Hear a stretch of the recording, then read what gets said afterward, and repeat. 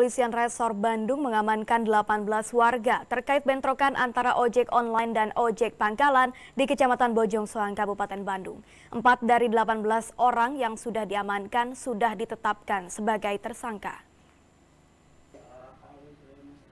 Petugas kepolisian Resor Bandung mengamankan 18 warga terkait bentrokan antara ratusan pengemudi ojek online dan ojek pangkalan di Kecamatan Bojong Soang, Kabupaten Bandung.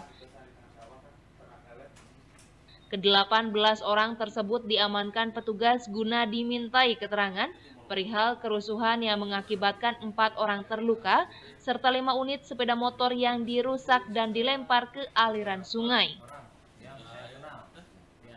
Ditegaskan Kapolres Bandung AKBP Indra Hermawan untuk mengetahui penyebab pasti kerusuhan, empat warga sudah ditetapkan sebagai tersangka dan tidak menutup kemungkinan akan bertambah. Mengamankan, mengamankan untuk diambil keterangan ada 18 orang di mana dari hasil uh, penyidikan empat sudah ditetapkan sebagai tersangka. Sebelumnya ratusan ojek online dan ojek pangkalan terlibat aksi keributan di Jalan Raya Cikoneng.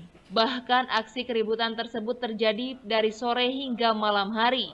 Diharapkan kedua belah pihak bisa menenangkan diri dan menunggu hasil penyelidikan kepolisian agar bentrokan akibat kesalahpahaman tersebut tidak terulang kembali.